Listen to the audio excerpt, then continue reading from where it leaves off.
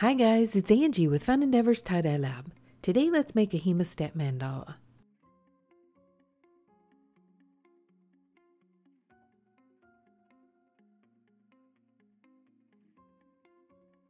I'm using a 28 by 28 100% cotton flour sack kitchen towel. I've soaked it in soda ash. I'm going to begin by folding the towel in half.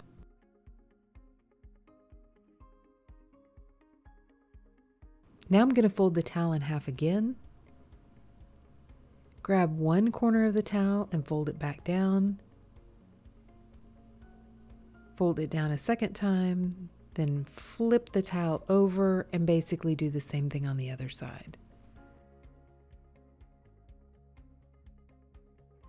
So right now I have the towel folded for an eight point mandala. I'm going to make one more fold on each side folding the towel into a 16 point mandala.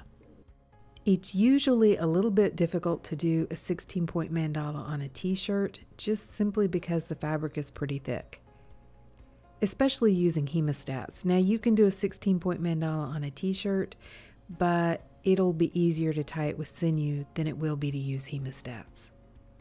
For this towel, I'm going to use hemostats and I'm going to use straight hemostats. I'm placing one pair of hemostats down at the end of the towel at an angle. By the way, I'm just making this up as I go. If you're wondering what the black is on my hemostats, I've coated them with heat shrink tubing. Heat shrink tubing will help keep the teeth of the hemostats from damaging the fabric. I purchased the heat shrink tubing in the electrical department at either Lowe's or Home Depot cover the teeth with it, and then use a heat gun to shrink it down to fit.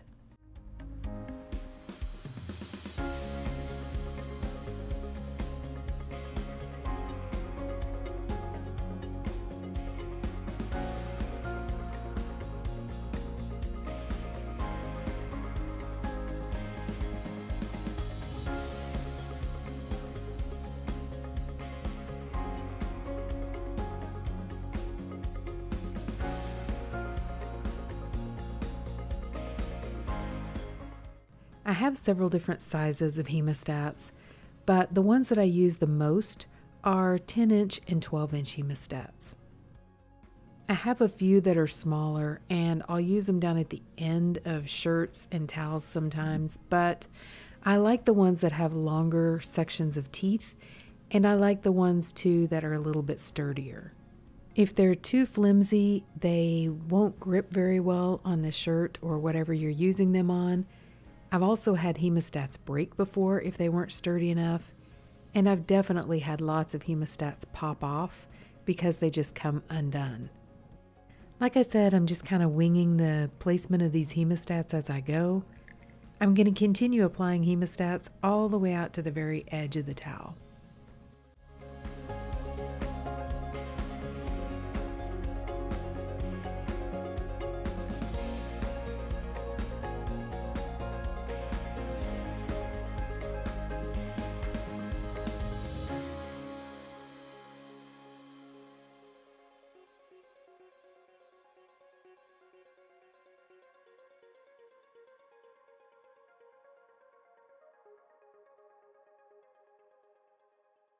Once I have all the hemostats on, I'm going to place the towel on a metal rack and set it aside.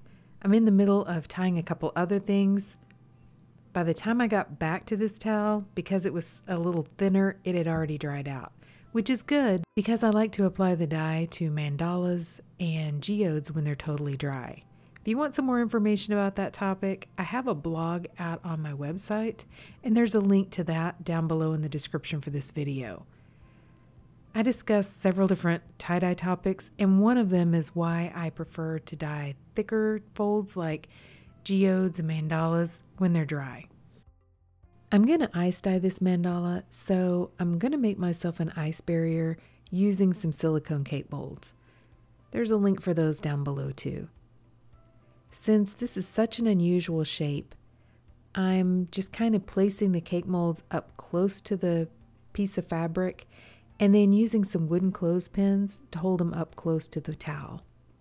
The very end portion was kind of small, so I just left that without any cake molds or any kind of an ice barrier.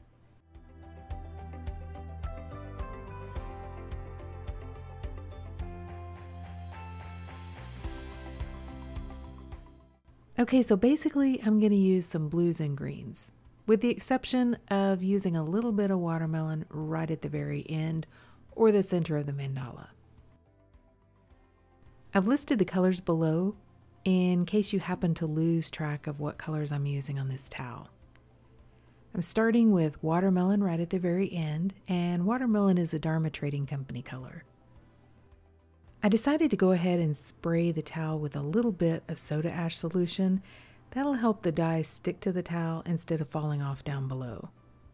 Because I'd already applied the watermelon, it kind of made that spread just a little bit.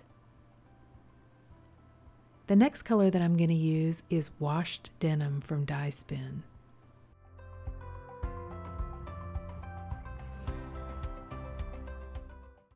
Now I'm going to use Royal Blue from Dharma.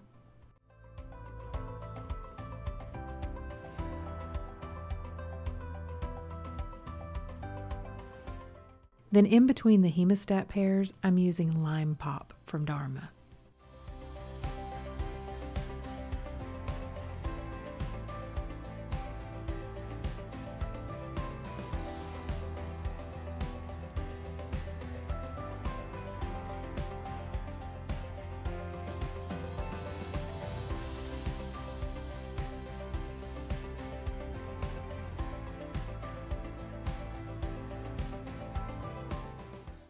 I'm adding another section of washed denim.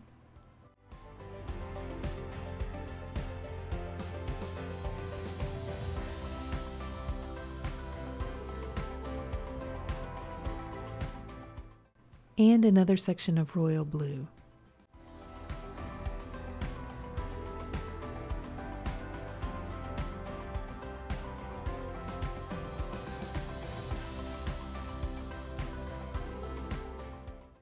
On the remaining sections, on the top side, I'm going to use Irish Green from Dyespin.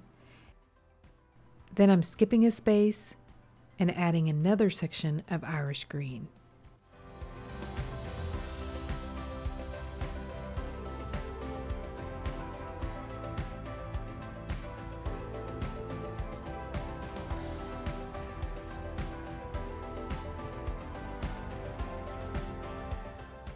In the two remaining top sections, I'm going to use washed denim from Dyespin. I'm taking the back of my stainless steel spoon and kind of spreading the dye down into the fabric.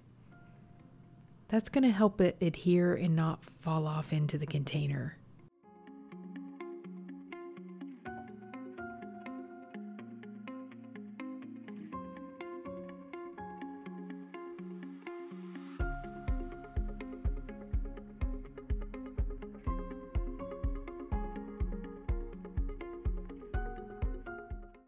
Then in the bottom sections, I'm going to use Island Breeze from Prochemical.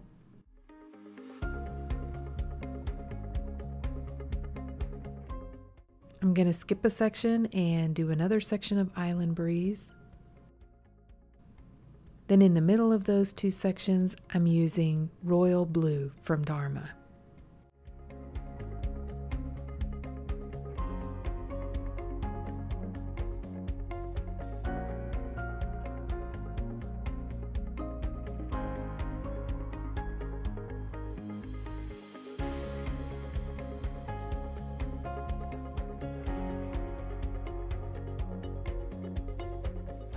Now I'm going to add an additional sprinkle of soda ash over the top of the dye. And I'm going to add on a layer of ice. I bought a silicone mold to make some 2 inch square ice cubes. I wanted something a little bit bigger that would have a slower melt for whenever I do ice dyeing outside. So I think these are intended to be used for whiskey. I'll leave a link down below for where I purchased them because the ice cubes were so thick, after the first layer of ice melted, I came back and checked it, and the dye had gone through really well to the backside. So even though there was some undissolved dye left sitting on top, I just left it alone and allowed it to process for about 24 hours. Then I took the towel to my utility sink and I started rinsing it in cold water to rinse out the soda ash. I removed the hemostats and warmed the water up to hot and continued rinsing to rinse out any of the excess dye that didn't bond with the fabric. When the water was running almost clear, I put the towel along with some Dharma's professional textile detergent into my washing machine and I washed it using a hot water cycle. Then, after I washed and dried the towel, this is what it looks like. Okay, so what do you think? I really like this one. I think it looks really pretty. I wanted to see what it was like to do a 16 point mandala using hemostats. And like I said, it's really tough to do that on a shirt. So I wanted to try one of these 28 by 28 towels and see what it looks like. I really like it. One side is a lot more defined than the other. When you're looking at the towel, the right hand side of the towel, the sections are a lot more defined. Over on the left hand side of the towel, they just kind of muddle together a little bit more. They're a little bit more watercolorish. That is probably the side of the towel that was on the inside. It's not a huge difference, but when you're scrutinizing it like I am, you can definitely see the difference. I like the colors though. I think they look really good together, and I like the design. It's always fun to just mess around with different, like, towels and shirts and things and see what you come up with. But what do you guys think? Do you like it? I think I'm going to try this design, but do it on an actual shirt not 16 points, but maybe back it up and do an 8 point mandala. Drop me some comments down below and let me know what you think about it. And if you've enjoyed watching me make this towel, I sure would appreciate it if you would like it and subscribe to my YouTube channel. Thank you all for watching, and I hope you have a great day.